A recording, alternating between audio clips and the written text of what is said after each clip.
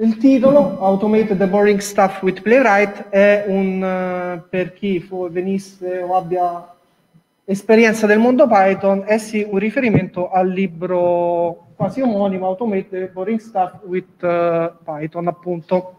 Noi lo faremo invece, a, volevo inizialmente avere lo stesso approccio con Playwright, quindi far vedere se possiamo imparare insomma qualcosa su Playwright automatizzando qualcosa di eh, appunto noioso o meno. Vedremo se ci siamo riusciti.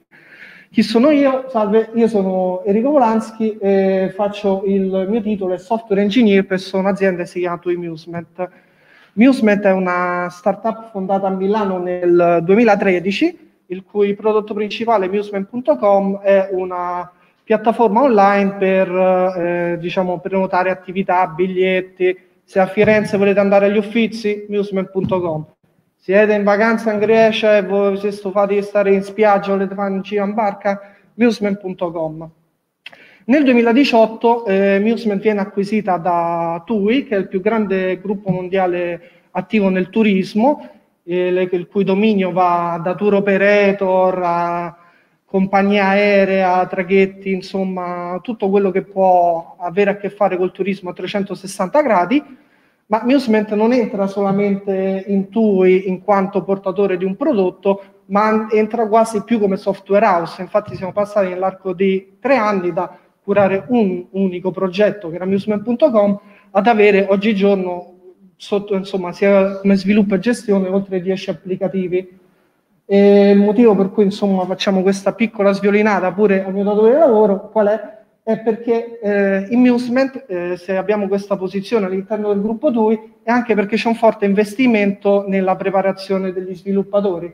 All'atto pratico, questo avviene in, in vari modi, ma uno di questi è che il venerdì abbiamo il Tech Friday dove, se, a meno che tu non abbia chissà che scadenze, puoi utilizzare la giornata, mezza giornata per formazione, quindi sia che ti devi vedere qualcosa di AWS perché, non so, ti serve qualche prodotto loro, non so, per rilasci, pipeline di GitLab, ti viene assegnato, ma si può anche sperimentare, quindi qualsiasi cosa non ti piace durante la tua giornata di lavoro, pensi che vuoi provare un altro approccio, si possono usare i Tech Friday per questo. Molti finiscono, molte cose che facciamo nei Tech Friday finiscono con successo ad essere adottate, tante no.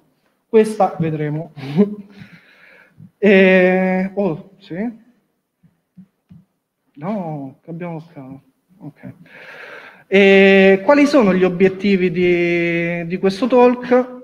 Ne abbiamo pri- principalmente tre, quindi vedere un po' che cos'è eh, il testing end-to-end e l'automazione, qual è insomma il mercato di, a livello software di, questo ambito, vedere come si colloca in questo Playwright, quindi anche confrontandolo con altri prodotti, e far vedere magari se abbiamo tempo qualche u- utilizzo, fare magari del live coding e vedere se insomma possiamo farci qualcosa. E, piccola avvertenza, non sono un uh, QA engineer, non faccio test di professione, non scrivo test di professione, anzi nella nostra azienda i test end-to-end li fanno gli, gli, quelli che chiamiamo test engineers. Quindi io tendenzialmente ne ho visti molto pochi, soprattutto nella mia azienda, e la mia esperienza con molti di questi tool è piuttosto limitata. Insomma, è molto alta la probabilità che qui dentro metà delle persone ne sappiano di più di me. Tuttavia, eh, mi ricollego anche a quello che diceva prima eh, insomma veniva detto prima del Roma JS anche come campo per provare insomma le talk e far vedere le cose, qual è una grande differenza fra una conferenza e un meetup? Non è tanto la qualità degli speaker, chiaramente magari un meetup oscilla di più, ma abbiamo avuto in questo meetup persone de, delle aziende più importanti che ci portavano talk che poi magari avrebbero portato il mese dopo a, a grandissime conferenze Insomma, non sono gli argomenti, non sono gli speaker, la grande differenza è il pubblico. La differenza quindi, perché questo è importante? Perché qui non c'è una conferenza sul testing dove chi è, ha vent'anni di esperienza nel testing vi viene a portare le sue idee, no. Qui è più uno sviluppatore che parla ad altri sviluppatori e vi dice, ma io ho provato questa cosa, ci posso tirare qualcosa di utile? Che ne pensate voi? Questo è come mi sono trovato io. E questo lo ricollego anche ad, ad una delle talk che più mi ha impressionato in queste aule, non tanto per i contenuti, era quella di Alessio Biancalana sui, mh, sugli styled components. Chi fosse presente, qualcuno lo vede, disse in quel meetup una cosa che io trovai molto illuminante proprio nella maniera in cui si vede un meetup Alessio non era più grande, il più grande esperto mondiale né di React né di CSS o di tutto questo, però ci ha portato qualcosa di estremamente eh, prezioso, ci ha portato la sua esperienza, ci ha portato il suo problema. Avevamo questo monolito di CSS, l'abbiamo eh, smontato con Silent Components, ci siamo trovati bene. Questo per me è, una, è un racconto per me molto più interessante, molto più di impatto che non magari una cosa che mi può dire un guru che si trova a una conferenza, perché siamo molto distanti, le nostre realtà sono differenti, invece quella di sviluppatori a sviluppatori può essere molto interessante. Tuttavia rimane il punto che, eh, insomma, se su qualche cosa po posso essere carente, perdonatemi. Detto questo, quando ho iniziato a scrivere le slide per questo, per questo talk, questa talk insomma, se uno preferisce maschile o femminile, mi sono a un certo punto fatto una domanda di quelle proprio inutili e la, la principale che mi sono chiesto è quale fosse lo skill set di un front-end engineer. Ho scritto ingegnere e non sviluppatore perché lo sviluppatore di questi tre, non si vede bene ma sono solamente tre, eh, lo deve avere, ovvero sviluppare codice che deve girare all'interno di un browser, parliamo di sviluppatori front-end, tuttavia per chiamarsi engineer, oltre fuori al titolo, magari ci vorrebbe anche la laurea, quello sì, però secondo me le caratteristiche proprio di, di abilità portanti sono l'attitudine al problem solving, che non sia solo di codice, anzi, ma che sia proprio un'attitudine del risolvere problemi con... Uh, meno sforzo possibile, no? ovvero avere l'approccio di eh, pensare alle cose, a tutte le proprie azioni in termini di costo e beneficio. Se facciamo una cosa così, quanto ci costa di tempo e che beneficio c'è? Questa è una caratteristica che è un po' carente, secondo me, ma l'altra non è, forse mi rendo conto di non averla appieno finché non ho iniziato un po' a approfondire molto più questi temi, è anche l'automazione del browser stesso. Se ci pensate, è possibile che scriviamo così tanto codice, parlo per sviluppatori front-end, che poi va a finire nei browser, però poi ci manca la parte dell'interazione stessa col browser? Secondo me anche questa è una parte importantissima. E quando dico browser potreste anche metterci la, par la parola user agent, per chi insomma non è proprio nerd della terminologia, user agent significa programma. E nella specifica HTML o HTTP o CSS che cercate, no user agent è un programma che è in grado di interpretare quel linguaggio, nel caso di CSS sarà CSS, HTML o quello che è, e farci qualcosa. Il browser è solo uno degli user agent possibili, ma non è l'unico. Anche nel protocollo HTTP abbiamo lo stesso user agent. Quando dico interagire quindi con un user agent, intendo non solo forse anche col browser, ma intendo anche tool come Prettier. Prettier è uno, uno, user agent a tutti gli effetti, è in grado di comprendere CSS, è in grado di comprendere JS secondo la specifica e ci fa quello che ci pare. Quindi secondo me la parte di interazione è una delle parti che più vale la pena sviluppare, se ci si vuole considerare ingegnere, quindi uno che eh, mette sul piatto il costo e il beneficio delle proprie azioni e del tempo ovviamente che richiedono. Perché ci dovrebbe poter servire un tool per interagire con eh, un browser? Beh, quello di cui parleremo principalmente è il testing, che vedremo un po' di più, ma fondamentalmente tutte queste quattro casistiche sono estremamente valide. Ne aggiungerei una quinta che forse magari vediamo alla fine. Però fondamentalmente il testing, come tutte queste eh, cose elencate, risponde a una domanda. Il testing del tipo quello che mi aspetto succede, i requisiti sono rispettati o l'automazione, posso automatizzare cose che sono piuttosto ripetitive. Pensate a tutti i giorni a quante azioni compiete nell'interazione con un browser Cioè mi sembra proprio una formula che dice quando vale la pena automatizzare o no, ovvero se prendete il tempo medio che ci mettete al giorno, lo moltiplicate, che ne so, per un anno, se è un minuto per 365 vuol dire che se ci mettete meno di 6 ore, quindi meno di 360 minuti ad automatizzare quell'azione, ci avete guadagnato, se no no. Abbiamo lo scraping, no? Ci, lo scraping generalmente non viene fatto all'interno dei browser, ma con altri in altri contesti che vanno semplicemente a fare delle richieste HTTP, ricevono dell'HTML e ci fanno qualche cosa. Secondo me è molto più facile con un browser eh, per vari motivi. Vedremo dopo perché. E c'è anche la, la questione benchmarking, no? quindi misurare le performance. Rispondendo alla domanda, posso misurare delle performance eh, con, appunto, con dei test automatici? Certo, lo posso fare.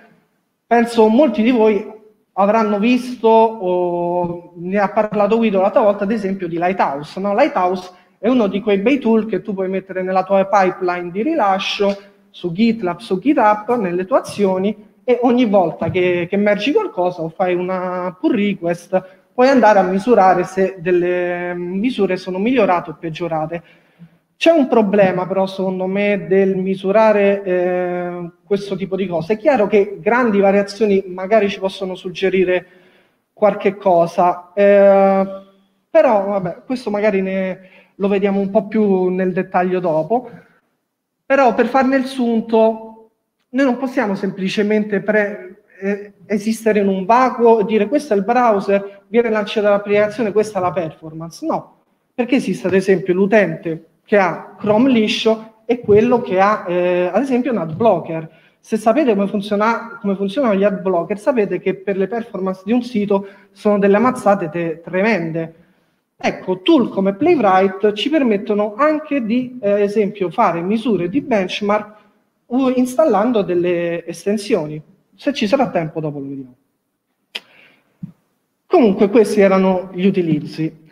Qui una opinione forse un po' controversa, non so quanto, ma io sono altamente nemico de, dei, test, dei, dei, test, unitari.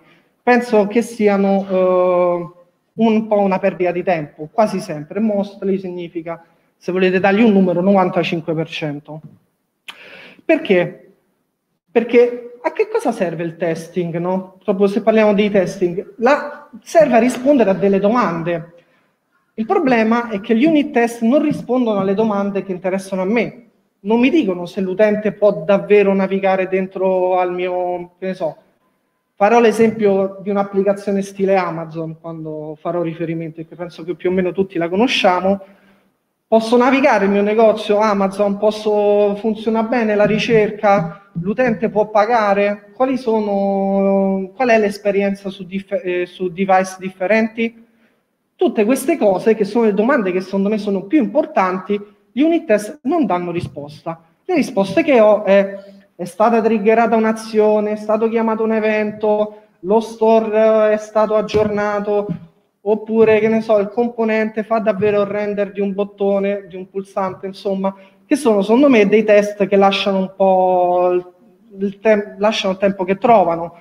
Vediamo un po' perché magari ci diamo pure una definizione, perché innanzitutto secondo me sono molto costosi da scrivere. Non so chi di voi, immagino tanti qui dentro, abbiano scritto complo- componenti complessi, avrete avuto secondo me sicuramente eh, l'esperienza per cui finivate a scrivere molto ma molto più codice per i test che per non per il componente stesso.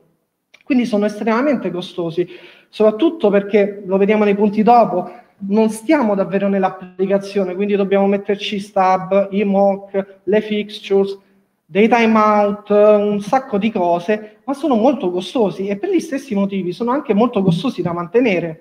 Pensate che lato back-end qualcuno va cambiato l'API, il risultato deve essere lo stesso di prima, voi dovete cambiare l'API, dovete cambiare eh, i test unitari, l'applicazione funziona come prima però per ogni cambiamento devo andare a modificare anche di solito eh, gli unit test, no? Abbiamo parlato già insomma del, dello scope, dell'environment che è molto ristretto, pensate a fa, se fate test di componenti con uh, Jest che emula il DOM, anche questi test non è che siano inutili, però andrebbero fatti quando ce n'è davvero un senso. Non è che io penso siano tutti inutili gli unit test, però devono aver senso. L'esempio penso che tutti più o meno ci può venire in mente dove uno unit test è utile e se vi è mai capitato di formattare una data, se vi è mai capitato di doversi realizzare qualcosa per tirarci fuori una query, in quel caso è proprio il test driven development secondo me che ci aiuta perché ci possiamo scrivere tutte le casistiche prima e poi scrivere un'implementazione che passi semplicemente i test. In quel caso è chiaro che i test unitari sono estremamente utili, però secondo me sono questi i casi in cui andrebbero fatti, non nel 90% di quelli che almeno vedo io. Ovviamente abbiamo feature limitate, pensate che fate un componente che richiede geolocalizzazione, che geolocalizzazione usate? Dovete usare stub, i mock, magari le API, le API sono ancora in fase sperimentale, ma voi le volete già rilasciare, auguri. Ma la cosa più importante, secondo me, è l'ultimo punto. Gli unit test servono a solo un pubblico, i sviluppatori front-end. Non ne frega niente a quelli che fanno back-end, non gliene frega niente a quelli che fanno prodotto, non gliene frega niente a nessuno. Perché? Perché sono test fatti per il tuo, team, per il tuo stesso team. Diverso il caso dei test end-to-end, che secondo me invece andrebbero prioritizzati di più. Poi diremo anche perché magari non è solamente negli ultimi tempi prende mano questa cosa, perché? Perché i test end-to-end sono molto più facili da scrivere, che non se avete appunto visto componenti complessi in vita vostra, sapete di che cosa parlo.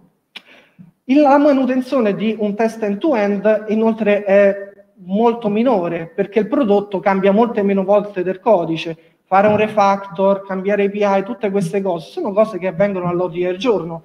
Cambiare il, il, il comportamento della nostra applicazione, no, abbiamo lo stesso scope dell'applicazione reale perché siamo in un browser, abbiamo tutto, abbiamo la geolocalizzazione, insomma, poi dipende anche ovviamente dalle librerie che uno usa, ma la cosa più interessante è l'ultimo punto, rispe- eh, rispondo ad una domanda, ovvero i test end-to-end mi dicono ma l'applicazione funziona, riesco a pagare, riesco a navigare, riesco a fare tutte queste cose.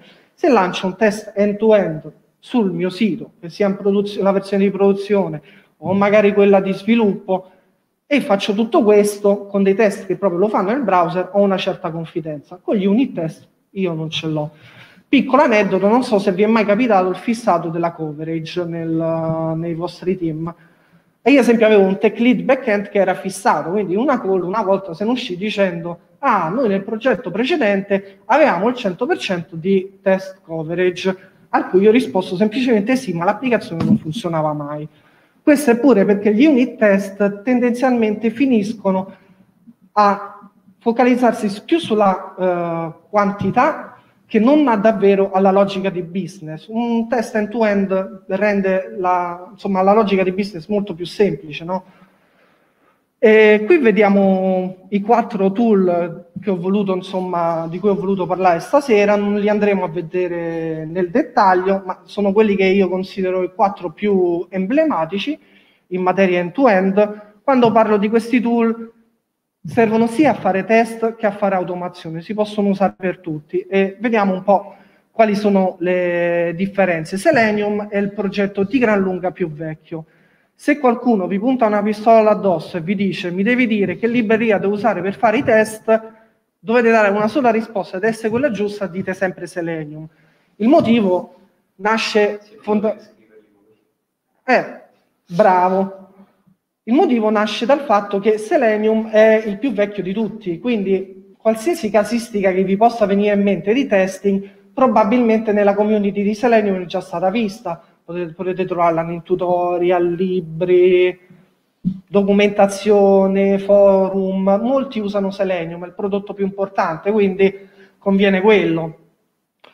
Inoltre è quello che supporta più linguaggi di programmazione, abbiamo addirittura Perl, che pensavo servisse solamente negli script bash, invece sì, si possono anche scrivere test end-to-end, automatizzare il browser, ed è quello che supporta più browser di tutti, in particolare Internet Explorer.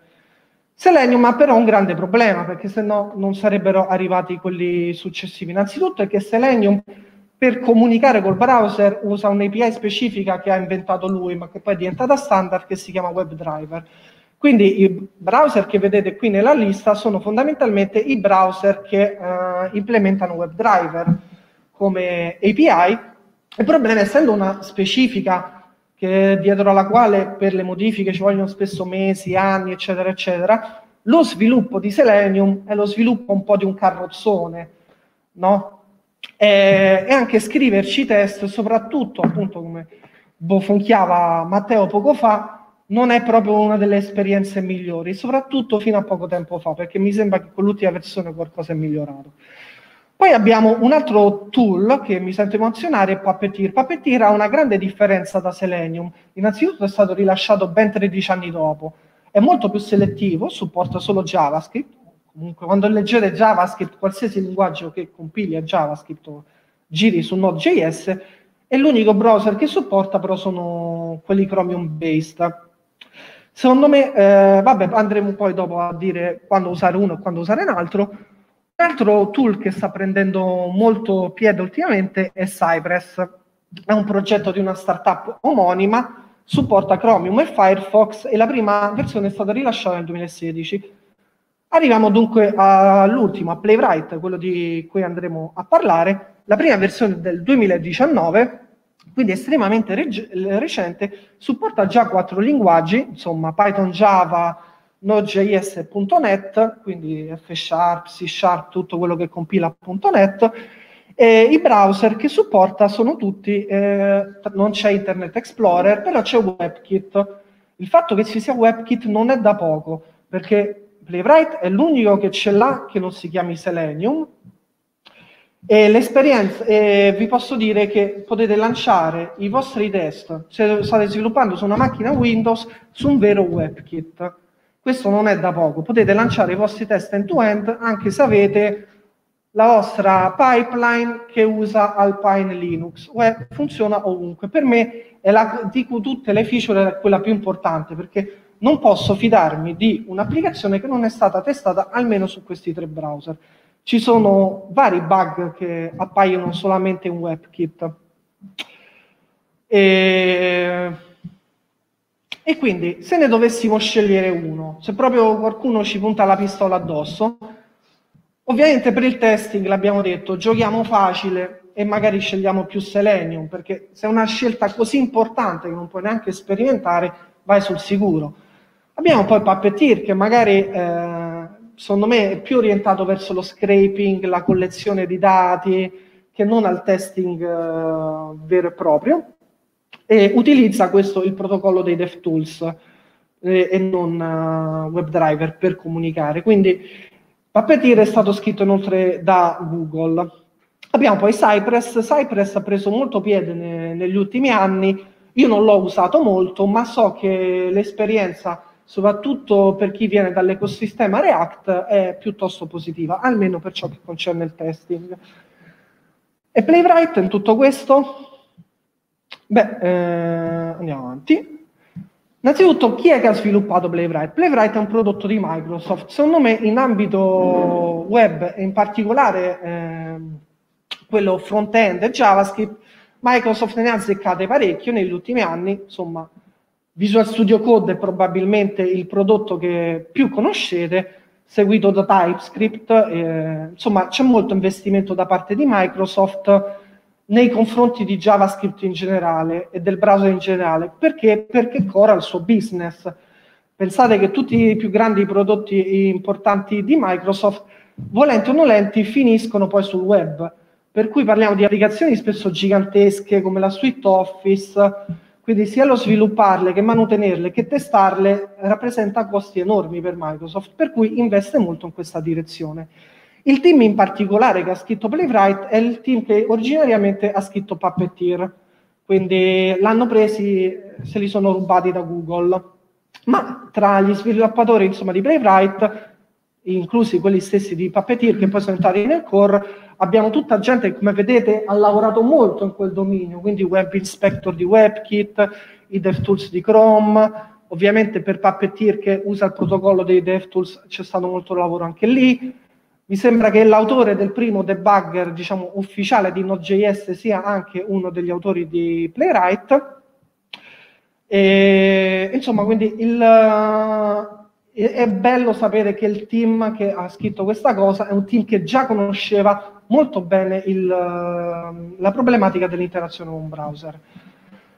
Qui, insomma, l'abbiamo già detto, non mi so ripetere, comunque per me la feature di gran lunga, per cui lo consiglierei, oltre al fatto che sia più facile da usare di Selenium, piccolo spoiler, è che ci sia WebKit su tutte le piattaforme, e questa insomma è una piccola carrellata delle, delle feature che poi insomma magari vediamo più ne, nel dettaglio poi quando vediamo il codice. Uno dei grandi problemi storicamente di Selenium qual era? Andavate sul vostro indirizzo ma l'indirizzo non, non, non restituiva un semplice file HTML statico ma magari era una single page application. Vi aspettavate di trovare, che ne so, il vostro testo, il vostro pulsante, non lo trovate. Perché? Perché deve essere ancora renderizzato questo causava soprattutto in Selenium dei brutti test dove si caricava, si aspettava, però non erano mai, come si dice, affidabili questi test. Playwright mm, diciamo che risolve questo problema, ha un suo timeout interno che poi potete cambiare per ogni API, mi sembra che nei test sia di 30 secondi, però insomma voi lanciate la pagina, eh, lanciate il test, se a un certo punto entro il timeout apparirà eh, il vostro, che ne so, l'elemento che corrisponde al vostro selettore, il test passerà. Per cui andiamo a scrivere dei test che sono fondamentalmente sincroni. Abbiamo questo resilient selectors che vedremo magari dopo quando vediamo i selettori.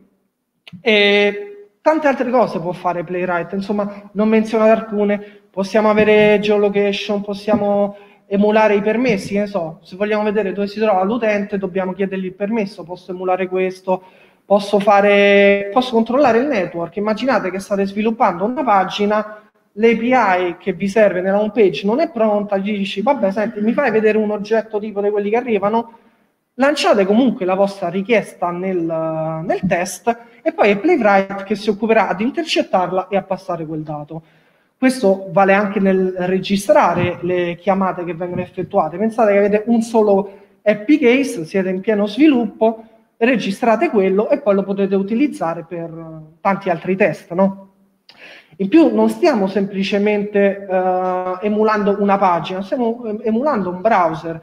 Possiamo avere quante pagine vogliamo, vari domini, i frame, Insomma, i selettori sono molto buoni anche con la Shadow DOM, insomma, dark mode, potete emulare input nativi, upload, download, quello che vi pare, è molto potente a livello di feature, Playwright, e una che secondo me, questa era un po' la cosa che volevo far vedere a, alla fine, Playwright permette di scrivere i test, poi lo facciamo insieme, in maniera interattiva. Lanciate questo comando np, npx playwright bla bla bla, navigate, fate quello che vi pare, mentre navigate il, verrà generato il codice automaticamente che vi fa vedere cosa succede. Quindi quando io penso a tutti i mesi che passano molti QA engineer che conosco a scriversi tutti i test a mano, a farti le pull request perché gli serve il data test id come attributo perché se no non riescono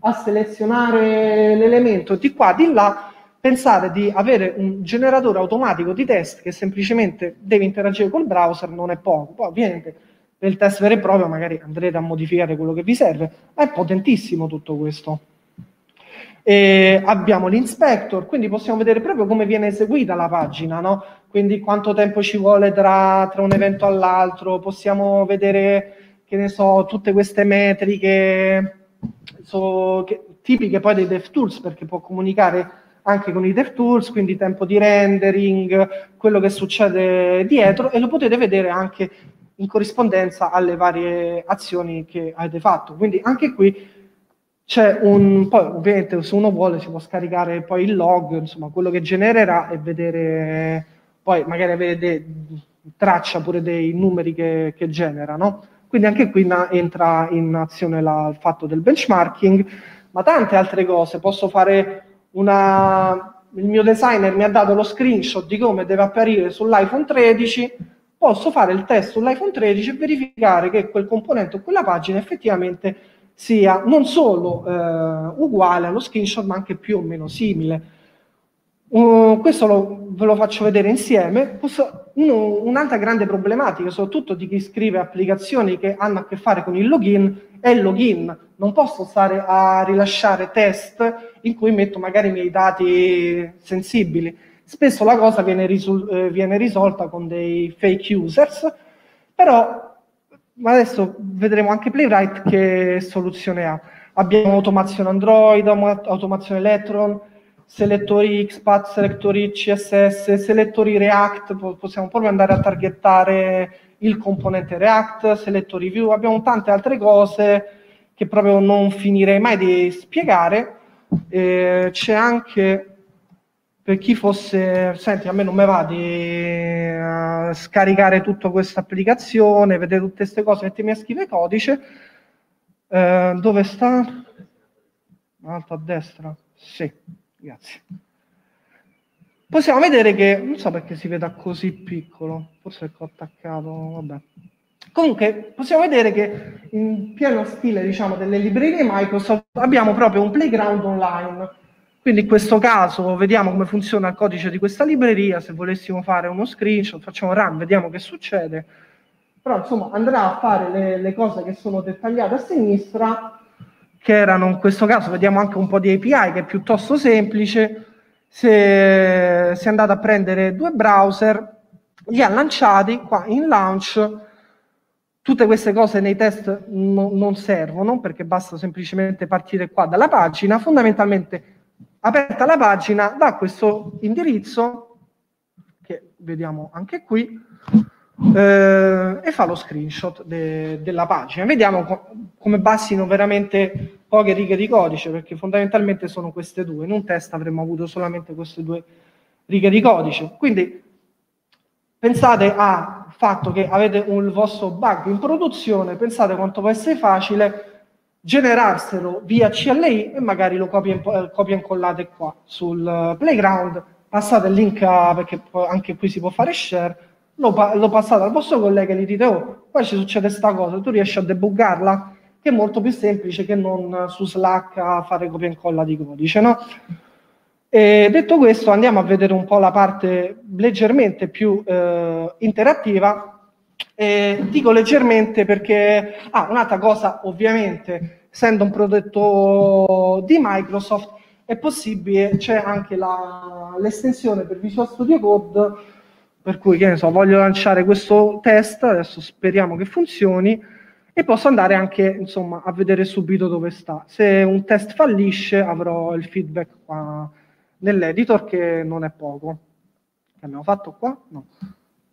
Perché mi fa command? Cosa non va? Forse perché ho attaccato un altro moio, ma non mi va command più. Vabbè. Diciamo come gli antichi. View, dove sta? Layout, appearance, zoom in. Oh, era questo qua. Command, oh, vabbè. Si vede un po' meglio? E quindi, insomma, eh, è molto interessante perché è utile avere questo. Tra l'altro, se volete eseguirne solo uno, vediamo se funziona, potete, potete eseguirlo anche uno solo in isolamento. Ho preso uno dei più lunghi, vabbè.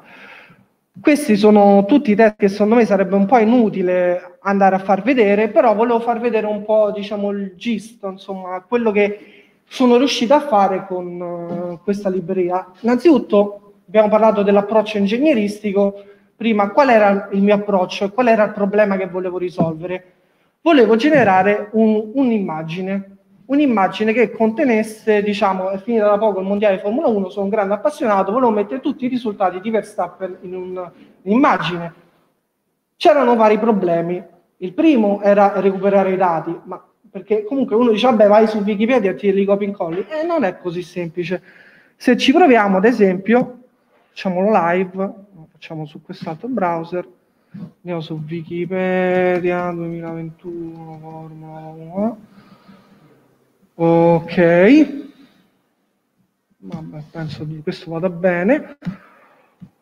Insomma, se uno volesse andare a prendersi, che ne so, in maniera un po' naive i risultati da qua, inizia a fare copia e incolla qui eh, insomma non vi verrà né formattato bene, insomma non riuscirete a recuperare tutte le impostate, tutte le cose, insomma non è proprio pratico, no?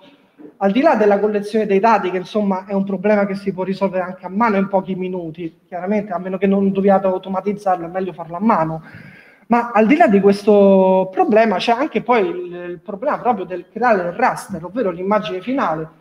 Non so usare Paint, non so usare Photoshop, le poche volte che riesco a fare qualcosa, ma devo tornare indietro, è la morte.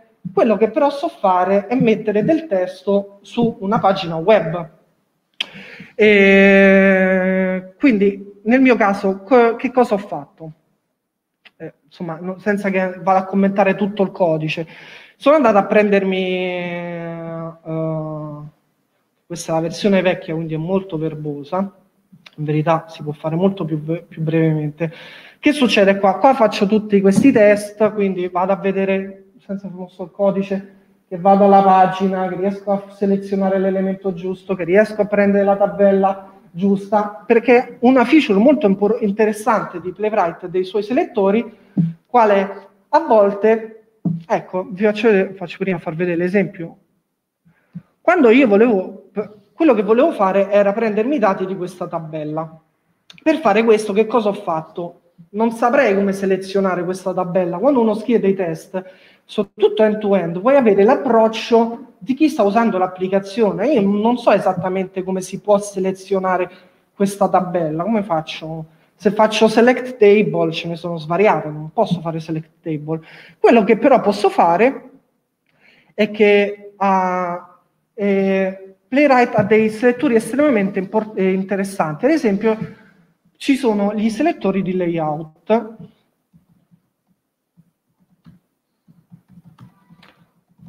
Questo non abbiamo la slide, quindi andiamo a vedere se c'è qualcosa di... Diciamo prima fa selectors e basta. Uh, sì.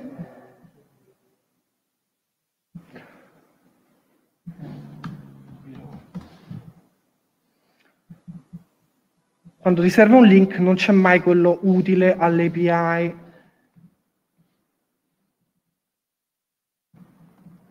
API. Oh.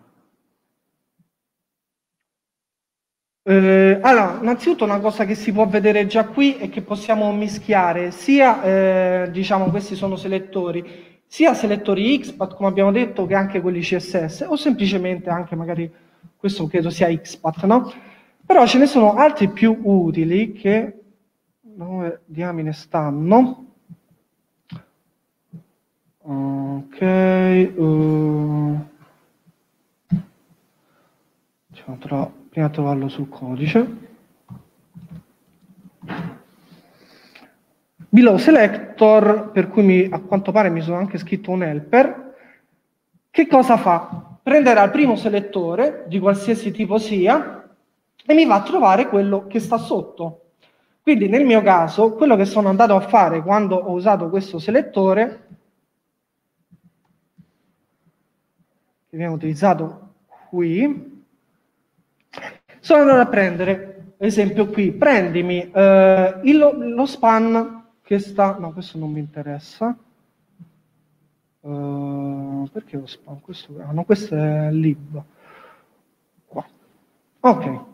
In questo caso ho questo selettore. In questo selettore ho un altro helper che si chiama first, prende semplicemente l'ennesimo 1 selettore, quindi mi prende prim, la prima tabella sotto questo testo. Nel mio caso il testo che cos'è? Eh, è il secondo è la seconda occurrence di questo. Perché? Perché se io vado qui, sulla pagina originale, ovviamente possiamo vederlo anche in maniera più semplice, e vado a cercare questo testo, questo non è il primo testo che appare, perché il primo è il link. Abbiamo il link e poi abbiamo questo qua, il titolo, no? E quindi nel mio caso dovevo andare a prendere il secondo che avesse questo testo. Dopodiché vado a prendere la prima tabella che si trova sotto quel testo. In quel caso la tabella è, era appunto quella precedente. In tutto questo posso anche generarmi degli screenshot, no? quindi in questo caso ad esempio mi, mi sono andato a generano screenshot. Quindi se andiamo nella cartella screenshot e andiamo a vedere first table, questa è la tabella che sono andato a selezionare. Quando dico che voglio fare uno screenshot, non lo fa esclusivamente della pagina, ma anche della vostra selezione. In questo caso sono andato a selezionare esattamente la prima tabella che stava sotto a quel testo e poi, vabbè, senza vi faccio vedere il codice, siamo andati a selezionare la prima eh, riga e la seconda riga e da queste, insomma, ci siamo andati a prendere i risultati andando ricorsivamente dentro alle celle che stavano dentro alle righe. Abbiamo in verità un po' poi eh, generato un output che è questo qua, l'ho salvato come JSON, dovrebbe stare qua, JSON, ok. Alla fine di tutti questi test è curioso tra l'altro vedere come a volte la differenza fra test e applicazione sia un po' vaga, perché tutto quello che ho scritto io sono stati esclusivamente test, ma eh, si possono definire anche un'applicazione tutti questi test? Secondo me sì, perché c'è stato un side effect. Ho generato uh, dei risultati. Alla fine lo scopo di qualsiasi programma per computer è quello di darci un risultato. Se, non, se ha fatto un calcolo ma non ce lo restituisce in qualche modo, non ha fatto nulla, no? Se volete fare un calcolo inutile in JavaScript, potete fare semplicemente 3 più 3 o 3 per 3, il calcolo viene eseguito, JavaScript non è che lo salta, lo farà, ma è inutile, perché non viene dato in pasto a nulla, no? Quindi è sicuramente, secondo me, questo test anche qualificabile come un, uh, un programma. Questa è la prima parte che ci interessava, insomma la generazione di questo JSON, formattiamolo bene, che vedete è fondamentalmente una, un oggetto che ha il nome del pilota e da questo mi sono trovato tutte le corse, come si era piazzato, insomma se c'ha il giro veloce e bla bla bla e la pole position. Questa era la prima parte, ovvero la collezione di dati che come ho già detto precedentemente era molto più conveniente farla a mano, però uno c'è stata un'utilità insomma educativa nell'impararlo e la seconda eh, è che comunque questa cosa è ripetibile, se lo voglio fare per 20 piloti, per 30 piloti o per ancora più casistica, questa è una cosa che posso riutilizzare. L'immagine raster prodotta da Paint, no, dove siamo sempre da capo a 12, no? Quando ho iniziato a fare questa cosa non so dove sarebbe andata a parare. Ho tutti questi dati, che cosa ci posso fare? Ad esempio andiamo a vedere un altro test, vabbè questo era il test della presentazione, ma mi sembra, dove sta? Qua. Era un po' una cosa inutile, cioè andavamo alla, alla pagina de, delle slide, che erano quelle che stavo precedentemente vedendo, e ve- sono andato a verificare che semplicemente ci fossero, vabbè, il titolo, il nome, bla bla bla e alla fine ho... siamo andati a fare questo screenshot che vabbè non ci interessa. Uh, quello che invece potremmo testare, ecco, vediamo invece se, sì, se possiamo unire proprio sviluppo e testing insieme. Questo è un caso un po' più carino che ho fatto. Che cosa faccio in questo test? Non semplicemente vado a una certa URL, ma addirittura lancio una vera e propria istanza di, di un server che mi restituirà insomma il mio, il mio servizio web. No? Lancio Vite, che è una sorta di webpack, se volete, in un, in un processo figlio, aspetto almeno un secondo, in questo caso ho dovuto usare il timer, è l'unico timer che ho usato, perché? Perché Vite ci mette un pochetto a ricaricare la pagina e a rimandarla, no? Quindi insomma gli do almeno un secondo, Vita è molto veloce, avesse fatto un React qua forse avreste dovuto aggiungere uno 0 almeno, se non insomma moltiplicare per 30 o 40. E, insomma in questo test che cosa vado a fare? Semplicemente andiamo all'URL 3000, prendiamo uno screenshot e controlliamo che insomma nella pagina sia anche presente Shauruma.js. Insomma lanciamolo, vediamo che succede come vedete faccio tutto da Visual Studio Code, non devo aprire nessun terminale che è utile. E che cosa ha salvato? Test PNG, questo qui. Ah, ecco, e questa è la mia applicazione, ciao Roma.js. Se non ci credete che è questa qua, eh, basta andare in app TSX e vedete che c'è Roma.js. Però una volta che sono arrivato qua a livello di automazione ho detto ma perché non mi posso spingere un po' più avanti? E quindi che cosa andiamo a fare in uh, questo test che volevo, volevo farvi vedere? Dov'è? Qua. Ancora non ci ho preso mano con le shortcut. E possiamo andare a fare un'altra cosa che è dove? Uh, app. Ok. In questo caso quello che vado a fare è leggermente diverso. Come prima apro apptsx, anzi lanciamolo ancora meglio, read and replace the file. Deve essere questo qua. Che cosa vado a fare? Vado ad aprire sempre localhost dopo aver eh, fatto partire vite, controllo che siano presenti ciao Roma.js e appheader, due cose a caso che sapevo ci fossero nel, nel file, quello che abbiamo visto prima, ma poi faccio un'altra cosa. Vado a prendere un altro file che si chiama apptsx, questo qui, e lo metto al posto di, uh, dell'applicazione precedente. Questo qua lo faccio sempre nel file che ci siamo persi.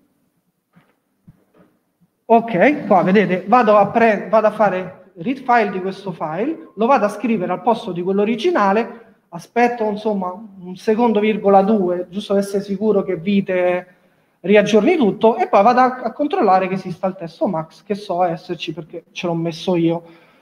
E di questa cosa possiamo fare anche un, un'immagine dell'applicazione che ho preso fondamentalmente sostituendo. Ah, oltre cosa, come ho menzionato prima, un test non dovrebbe modificare il sistema, almeno secondo me, infatti come vedete qui alla fine di tutti questi test prendo questo underscore underscore app e lo metto al posto di app, quindi ricreando in perpetuo la, la posizione iniziale, quindi passerà sia al test di ciao Roma.js che poi di quello dopo.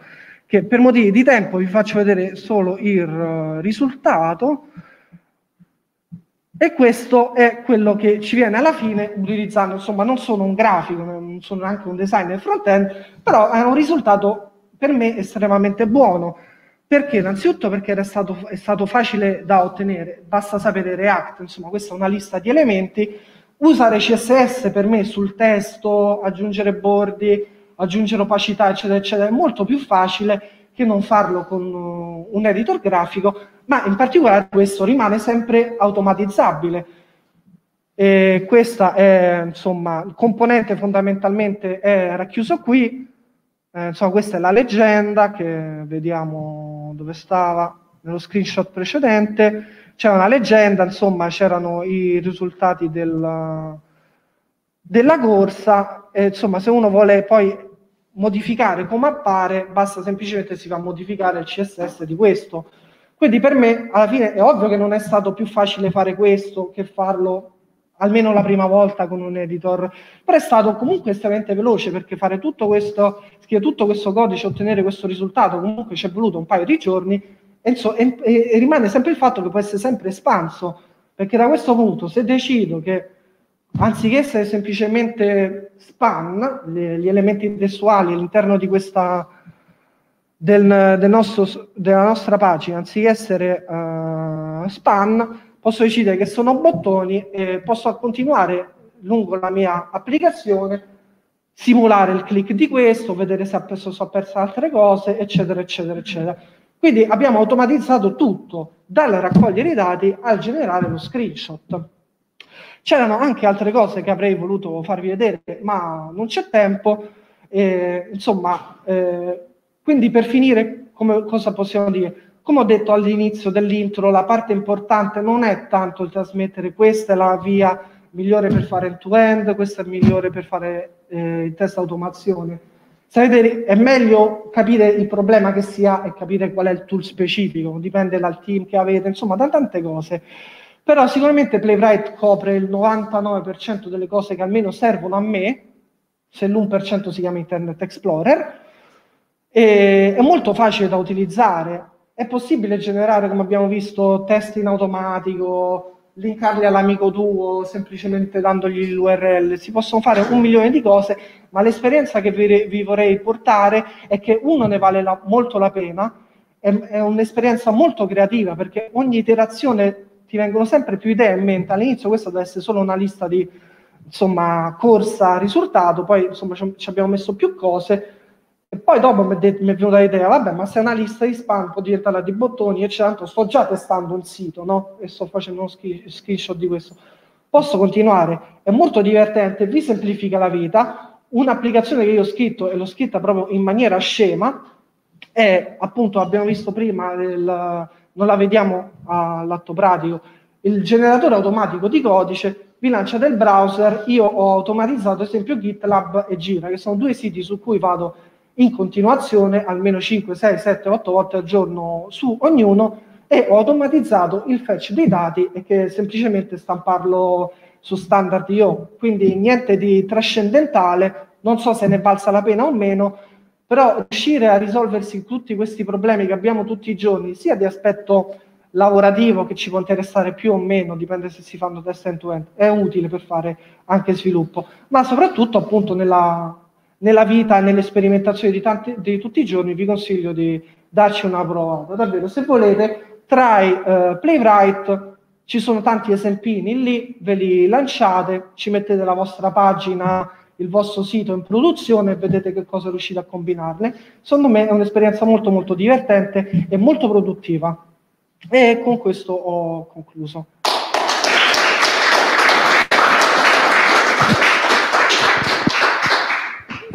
Grazie, veramente eh, interessantissimo. Aggiungo una cosa, intanto siamo aperti alle domande, se avete qualche domanda al volo anche da casa eh, le, le, riportiamo al volo prima di andare a cena e colgo l'occasione per agganciarmi a quello che diceva Enrico, sia da un, attimo, da un punto di vista sperimentale, vabbè, probabilmente se siamo qua è perché ci divertiamo anche a fare le cose inutili solo per, per imparare a, a, qualcosa di più.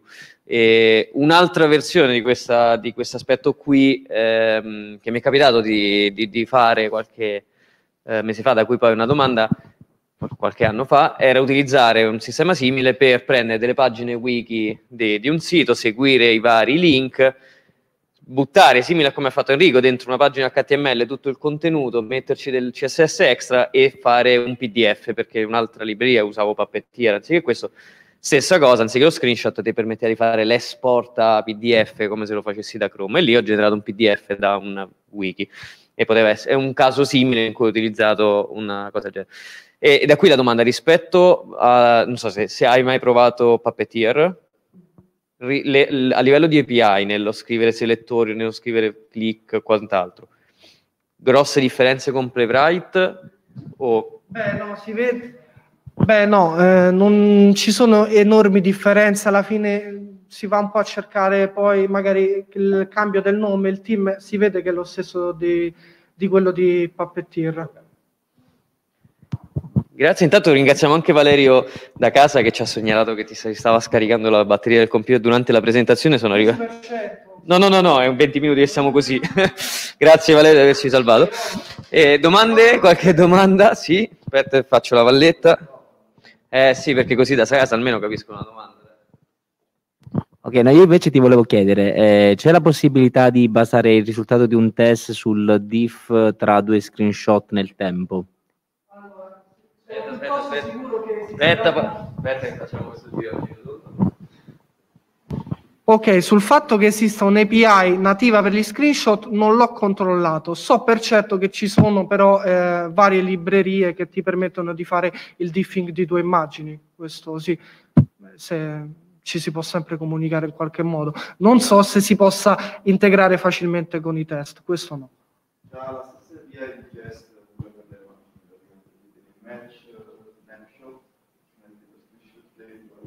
Ok, riporto Ok, da, da, dal, dal, pubblico per casa suggeriscono Jest Snapshot, cioè l'utility sua dove gli passi la PNG e lui uh, permette... Di l'immagine pure? Ma nativo? Nativo? Perché conosco per Snapshot uh, JSON sì, quello dell'immagine anche nativo, quindi, quindi poi lo usi sulla... Se c'è la Jest allora sarà sicuramente integrabile con Playwright perché sono abbastanza sicuro che sia basato su JavaScript. Eh? Ah, ah, ancora meglio. Cioè, c'è proprio Playwright. Ok. Eh, le feature comunque qui sono talmente tante che non basterebbero penso un mese per vederle tutte o anche per vedere la maggior parte delle API. Altre domande? Adesso seguo anche da Slack da casa.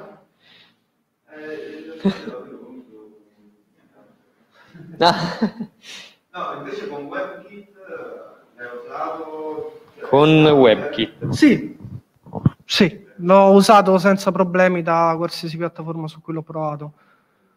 Ovviamente non è Safari Safari, però è WebKit.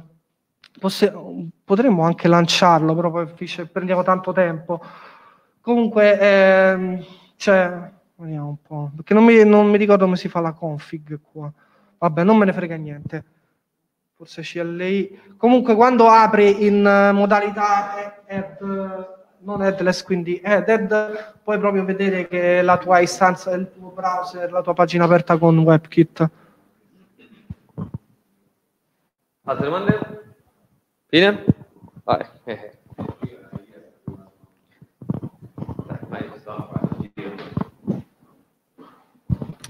Eh. Eh, ci fa vedere la feature di registrazione?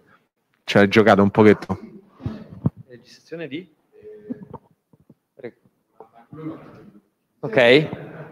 Lui ha capito e adesso siamo tutti in trepidante attesa di vedere. C'è una cosa anche leggermente più complessa, così vediamo anche come... Però ti, do- ti aggiungo una difficoltà. In quattro minuti che abbiamo tutti fame. 4 minuti che ho playback ci testi tutto. Ecco quello che succede quando lanciamo il, eh, il programma che ci permette di registrare i test. In questo caso credo abbia aperto, eh, no, vabbè, un browser Chromium, però avrei potuto pure eh, aprire un browser WebKit, funzionava uguale.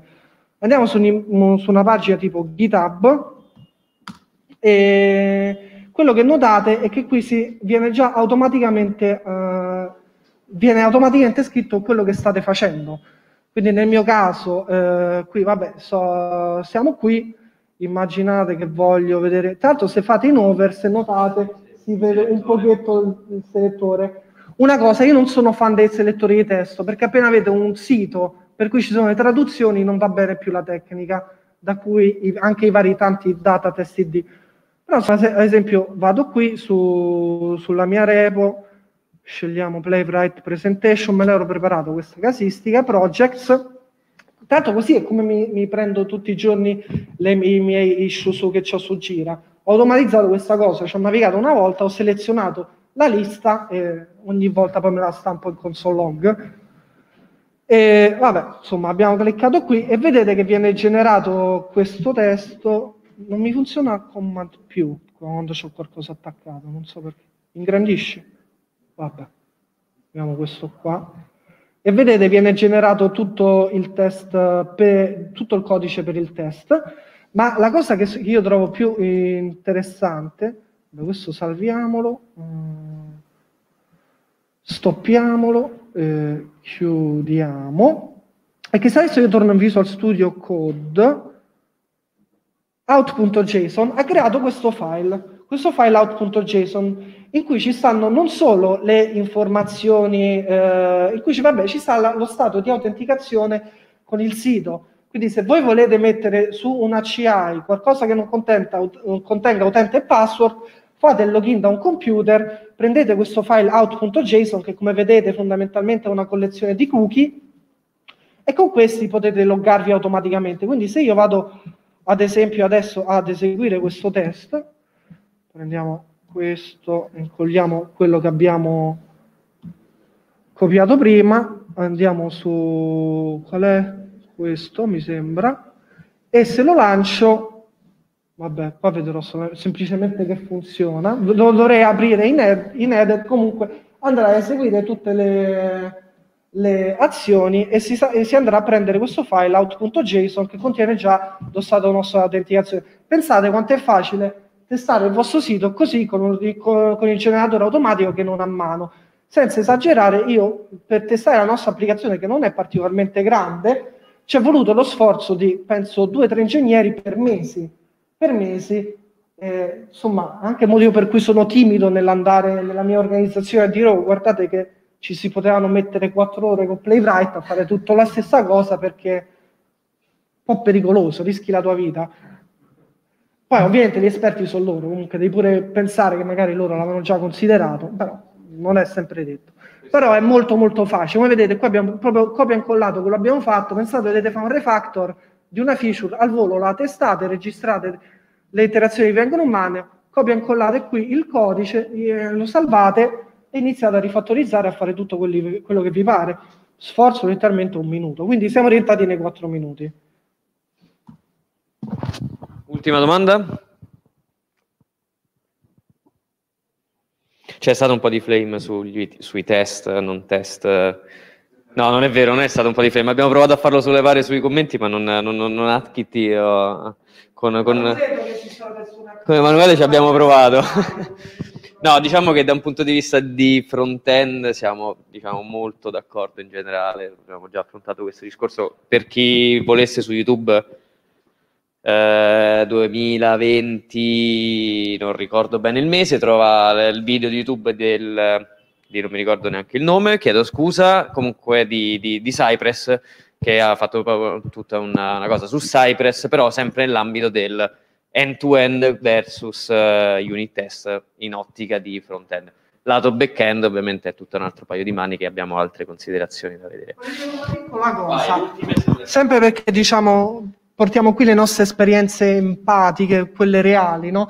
Il tester più bravo che ho conosciuto in vita mia non era un ingegnere, era un project manager che sapeva fare una sola cosa in vita sua, sapeva usare eh, Postman.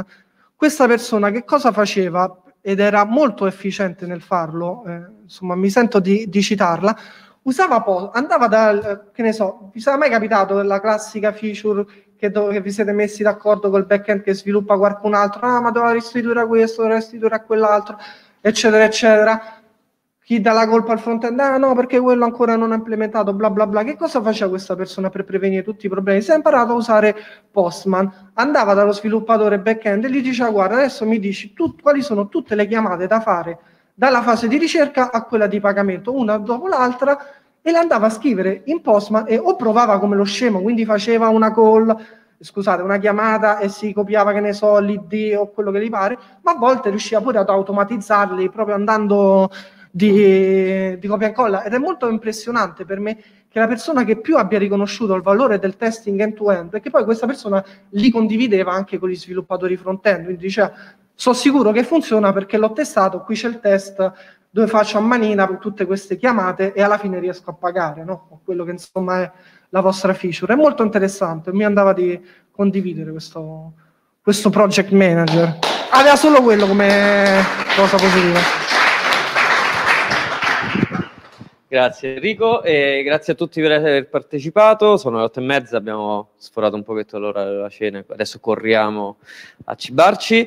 E questo è l'ultimo meetup del 2021 ci vediamo fisicamente o digitalmente l'anno prossimo. Buon Natale, buone feste buon inizio anno. E ci trovate su Slack, romags.org, trovate tutti i contatti e vado a chiudere. Grazie a tutti, buona serata.